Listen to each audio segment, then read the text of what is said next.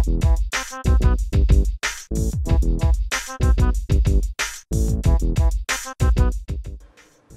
everyone, this is Sheridan over at XtremeTeamBuilding.com. Just wanted to throw out a shout out to everybody that's been participating in our Kickstarter campaign for your favorite picture on this shirt. We are at day number six of our 45 day Kickstarter. So the first 15 days of our Kickstarter we considered a soft launch and that is because we are just now got them building our Facebook, our Instagram, our Twitter account, and getting everything going and polishing up our website.